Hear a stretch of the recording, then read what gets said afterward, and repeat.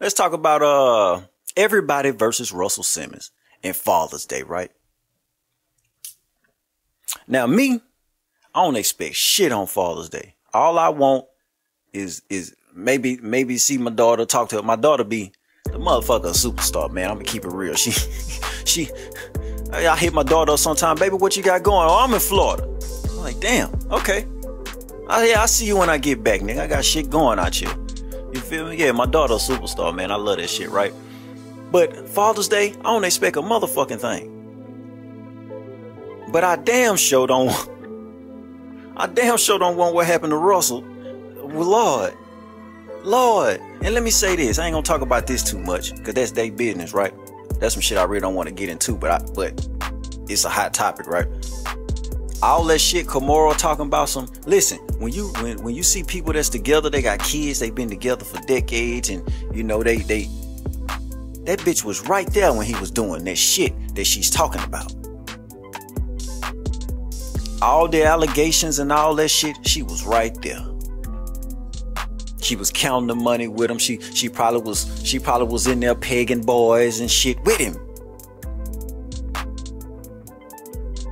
Y'all gotta stop believing it cause the bitch said it. I got a neighbor, I never fuck with him because he believed it because the bitch said it. But that's that's a whole nother conversation. I'm fucking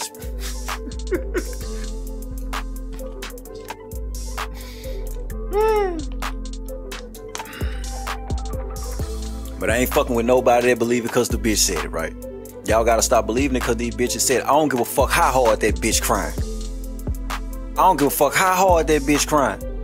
The bitch can be crying straight blood tears. Blood can be coming out the bitch eyes. I don't give a fuck. Don't you come tell me this nigga to snatched your arm off, bitch. I'ma tell you to get well, give him his leg back, bitch. You, I'm not, you got his leg, don't it? Fuck out of here. Fuck out of here, bitch. Hey, you niggas is goofy, man.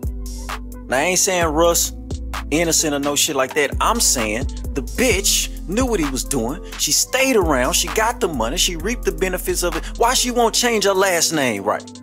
Why she won't change her name back? Why she still carrying that name? Cause she know that shit carry weight. She still got to get through them same doors with that name. That bitch knew what he was doing. She was right there with him, supplying the drugs, doing coke off the little boy's back, pegging him. She was right there. Y'all believe that bitch if you want to now. Now, when it comes to the kids and shit, that's a whole nother story. I'm definitely not speaking on that.